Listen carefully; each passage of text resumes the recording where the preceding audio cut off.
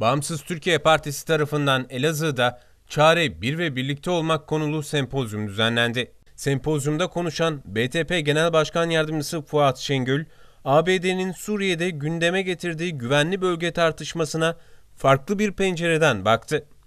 Büyük Orta Doğu projesinin mucidi Amerika, şu güzelim İslam alemine demokrasi, insan hakkı, özgürlük gerekçeleriyle müdahale ettiği günden bu yana can, mal, namus, akıl, din ve vicdan emniyeti bırakmadı.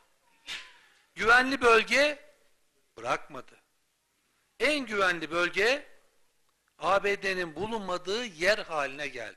Elazığ konuşmasında bugün mutsuzuz, emniyetimiz konusunda endişeliyiz diyen BTP Genel Başkan Yardımcısı Şengül şu dikkat çekici ifadeleri kullandı. mutsuzuz. Can emniyetimiz, mal emniyetimiz, namus emniyetimiz, akıl emniyetimiz, din ve vicdan emniyetimiz konusunda endişeliyiz. Adalet, iktisat, güvenlik, eğitim, sağlık, ahlak, kültür meselelerinde ümit var olmak istiyoruz. Kaynaklarımız var. Bunu milletçe istifade ederek doya doya kullanmak istiyoruz. Yaşamak istiyoruz. Hakça paylaşımdan yana iş istiyoruz, aş istiyoruz. Sahte besinlerden, sahte reçetelerden, sahte kurtarıcılardan milletçe artık usandık. Ama söylemek yetmez.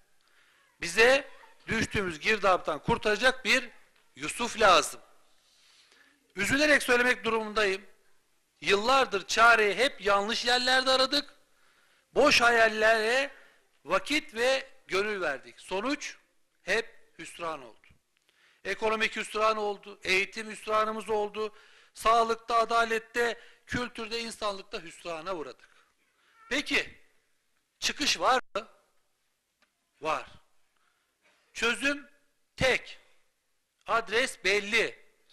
Kadro işte. Lider işte. Milletçe biz neredeyiz? Şikayet bir ahlak olmaktan çıkmalı. Hak teslim edilmeli ehline. Yoksa ağlamak kaderimiz olacak.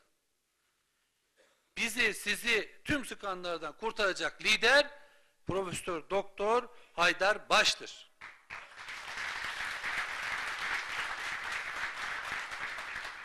Milli ekonomi modeli olmadan bu sıkıntılar asla bitmez. Ehl-i Beyt ahlakı olmadan bu sorunlardan asla kurtulamayız. Hoş geldin Atatürk demeden problemleri çözmemiz mümkün değil. Dünya Haydar Hoca'nın peşinde koşuyor. Bu bize yakışıyor mu?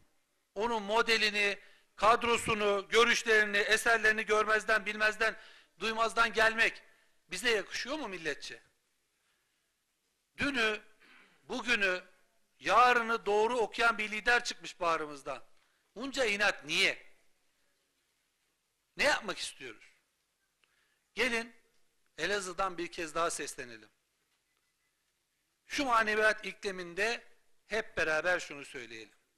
Akıl yaşta değil, Profesör Doktor Haydar baştadır.